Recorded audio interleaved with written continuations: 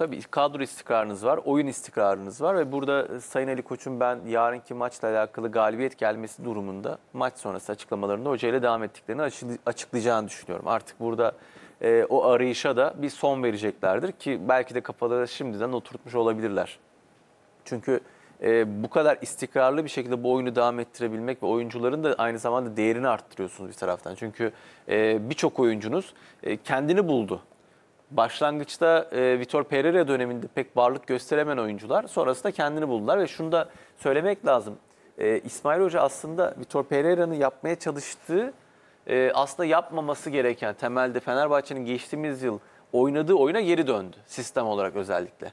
Ve bunun üstüne biraz güç ve biraz da hız kattı.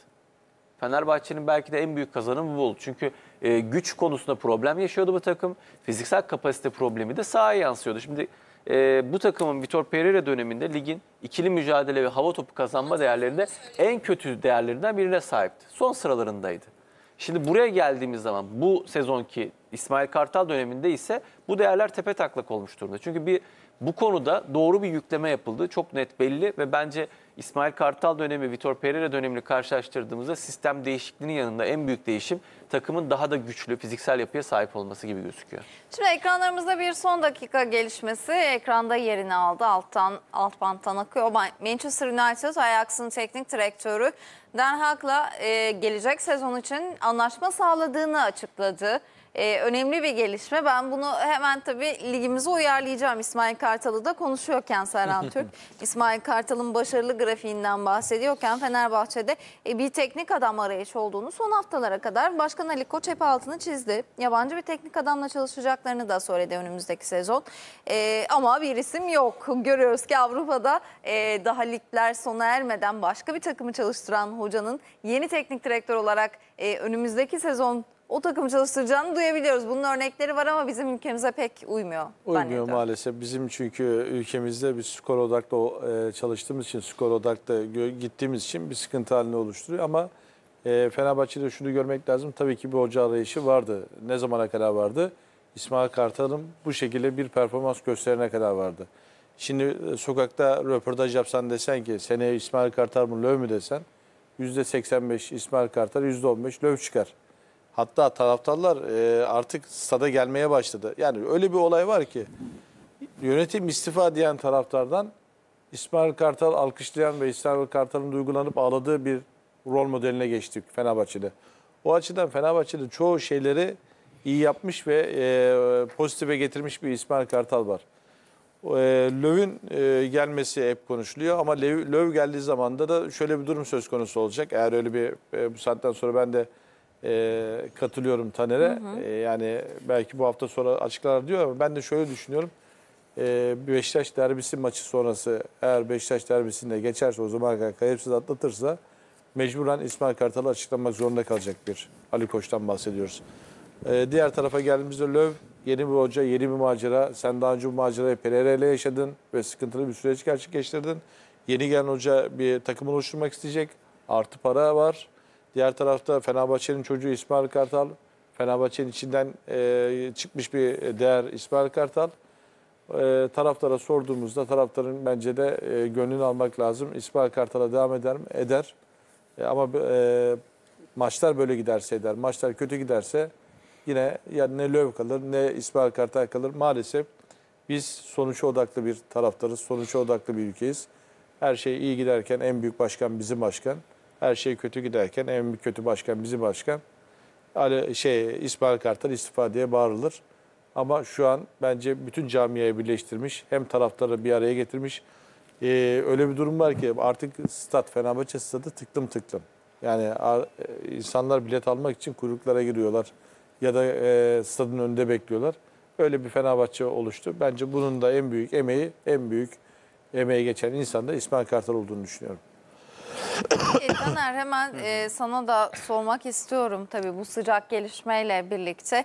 E, özellikle Manchester United'da e, Den Haag'ın açıklanması ve 5 senelik bir sözleşme imzalanması. Tabii gözler ister istemez ligimize çevriliyor. Fenerbahçe e, yaklaşık bir 2-3 aydır yeni teknik direktörü kim olacak e, bunun hesaplarını yapıyor, planlarını yapıyor. Örneğin önümüzdeki sezon İsmail Kartal'la devam edilmeyeceğini 2-3 hafta önce e, başkan Doğru. söylemişti, ifade etmişti.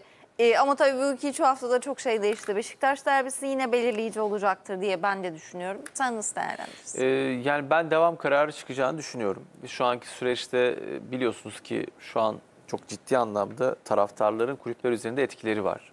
Her ne kadar Sayın Başkan Ali Koç'un bu konuda biraz daha farklı durmaya çalıştığını biliyor olsak bile e, biraz daha bu konuda çoğunluğun da sesini dinleyerek bu riski almayacak gibi geliyor bana. Çünkü şuraya dönüyor olay artık.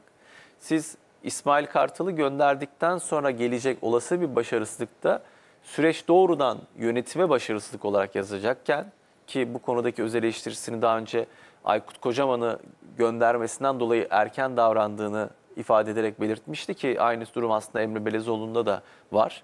Ee, benzer bile bile ladesi üçüncü kez yaşamayacaktır gibi geliyor bana Sayın Ali Koç. O yüzden de bugün Löw'ü getirip olası bir başarısızlığında bütün e, ihaleyi üstünüze almaktansa İsmail Kartal'la çoğunluğun da sesini dinleyerek devam edip olası bir başarısızlıkta biraz daha süreci e, kamuoyunun üstünde bırakmayı tercih edecek gibi geliyor. Burada biraz stratejik davranacak ve kongreye göre de davranacak bir e, Ali Koç olduğunu düşünüyorum. Çünkü önümüzdeki sezon biliyorsunuz son artık ve burada bir seçim sürecine yavaş yavaş giriyor Fenerbahçe ve burada e, yeniden bir zar atma lüksü Sayın Ali Koç'un yok Evet.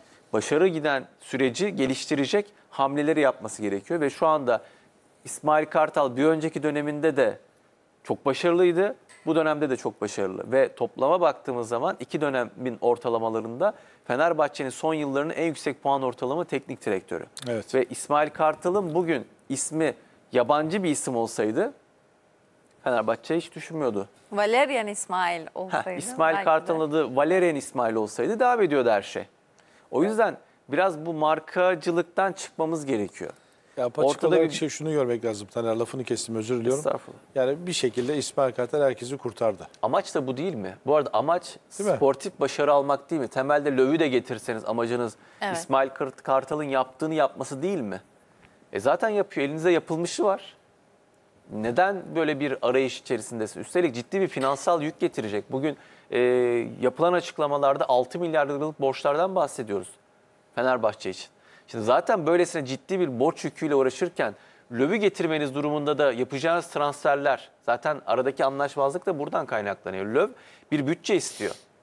Yani doğal olarak çünkü o da bir kariyer riski alıyor buraya gelerek. Halbuki yani bir de Ya da Jesus'u getirirseniz bir bütçe istemeyecek mi? en büyük bütçe de kendisine 7 verilecek milyon. yani. Şu 7 an 7 milyon eurodan rakam. bahsediliyor. tabii tabii 7 Yani milyon euroluk bir rakam. Bir de bir sene daha birlikte. devam etmek isteyen bir Ali Koç var. Bir dönem daha devam etmek isteyen bir Ali Koç var. Yani Öyle görmek şunu lazım. söyleyeyim. Kongrede Sayın Ali Koç'u kurtaracak olan şey Jesus ya da e, Löw değil. Başarı olacak.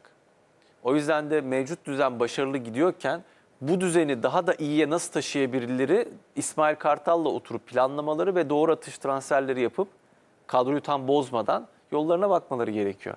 Yani işleyen çarka çomak sokmak bir tek Fenerbahçe'de oluyor son yıllarda. Bakın e, gerçekten de Vitor Pereira'nın bir önceki dönemine gidelim. O günden bugüne Fenerbahçe'de hiçbir başarı cezasız kalmadı. Şimdi Vitor Pereira rekor bir puan ortalamasıyla lig ikincisi oldu. Şanssızlığı rekor bir puan ortalamasıyla tarihin en iyi puan ortalamalarından bir tanesi ne sahip olan Beşiktaş'a denk gelmesiydi. Öyle bir dönem geçirdi. Geliyorum devam edelim. Aykut Kocaman dönemi, devam edelim İsmail Kartal dönemi, devam edelim yine İsmail Kartal dönemi. Bunların hepsini böyle alt alta koyunca Emre Belezoğlu dönemi. Takımda birincisi, birincisi şunun altını çizmek gerekiyor. Başarı nedir'i birinin Fenerbahçe'de izah etmesi lazım. Başarı doğrudan ilk sezonda kupa kazanmaksa evet gönderelim ikinci olanı gönderelim. Ama mevzu şu bu ligde hadi git sihirli, sihirli bir el yok. Hani geldin hemen şampiyon yap. İşleyen bir çark var. Mesela e, Emre Belezoğlu ile devam edilseydi muhtemelen Abdullah Avcı'nın Beşiktaş'ta yaşadığı efekt yaşanılacaktı şu anda Trab- Beş- Fenerbahçe'de. Trabzonspor'da olan efekt. Bir önceki sezondan sistemin oturtmuş, başarılı giden bir Fenerbahçe, nokta atış birkaç transfer ve sezon sonunda gelecek muhtemel bir şampiyonluk. Ama ne oldu? İşleyen çarka çomak sokuldu. Bir önceki Vitor Pereira dönemi aynı şey. Aykut Kocaman dönemi aynı şey. Geliyorsunuz İsmail Kartal dönemi aynı şey. Şimdi bu kadar bile bile lades olmak bana çok yönetim başarısı gibi gelmiyor. Bu aksine yönetim başarısızlığı oluyor. Peki devam edelim şimdi E, Beşiktaş'la. Beşiktaş'ta da e, transfer haberiyle devam edelim. Sörlot'un ismi çok fazla anılıyor siyah beyazlılarla. E, ve Beşiktaş yönetiminin Sörlot için Leipzig'e 7 milyon euro artı sonraki satıştan %50 pay teklif edileceği haberimizde belirtilmiş. Bakalım detaylar neler.